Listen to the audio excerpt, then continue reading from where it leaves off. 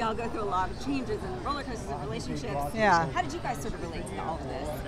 Well, I, I think we felt like the film, you know, dealt with relationships from kind of a new angle, but actually, you know, revealed a lot that's very, um, you know, Honest. and- honest and truthful about relationships. Uh, and I think you know, I think you've gone. You know, but Zoe, I think had a lot of experience by the time she was 26. Uh, she can tell you, but um, you know, and then we brought our own experience to it, and everyone kind of brings that to the to the party. But uh, we were just excited to kind of um, see this story that we have seen before, the Pygmalion myth, and get to kind of take it a little bit further than maybe it's been done in, in films before, anyway.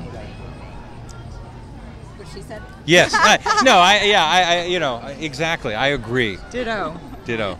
That's why this marriage Yes. is I know. I know. when she's right, no Don't additional. argue. I, don't no arguments. No.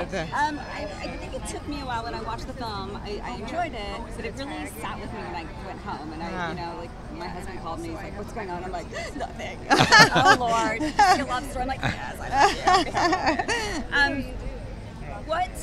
Um, how would you describe the film? I think I had a hard time describing what it was. That's It's good. Yeah. No. What we like about this film is it's not really a romantic comedy. Um, it's something different. Someone described it as a mix between Annie Hall and Frankenstein.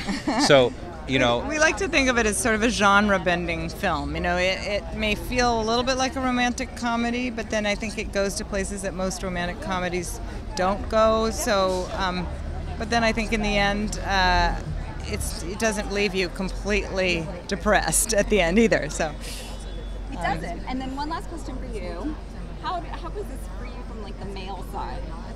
Well, I I like that this film doesn't pull its punches. You know, there are things that are said in the movie that I think all men feel and maybe don't like to admit.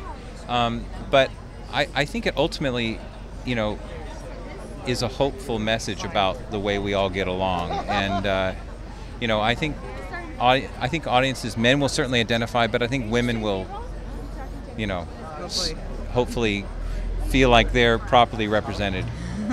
definitely.